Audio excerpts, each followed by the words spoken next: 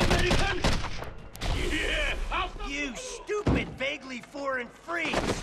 You ruined my vacation!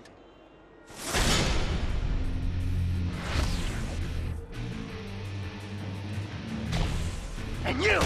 Dumb as nails shield clones! I saw what you did to those cherry blossoms back there! You think those things grow on trees?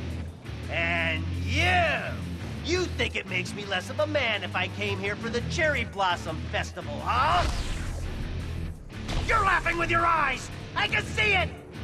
Fine! Time for a little boss battle, suckers! Now you can tell your friends you got hit by Spider-Man. That was for the cherry blossom. Ooh, sorry. That's gonna leave bruise. Just be glad you ain't in pieces. Ouch! I knew I should have sprung for the health meter enlargement I saw in that email. You're probably trying to clear out these terrorists, huh? Can I join the party?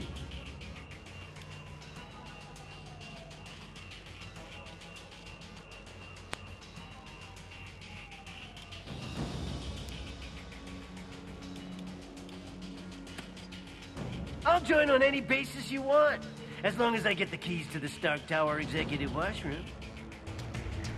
Come on, that way, the subway!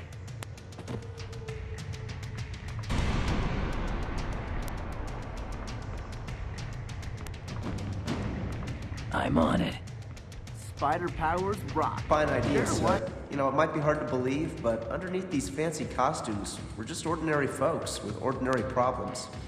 Oh, I believe you're more than ordinary. Amazing or spectacular comes to mind.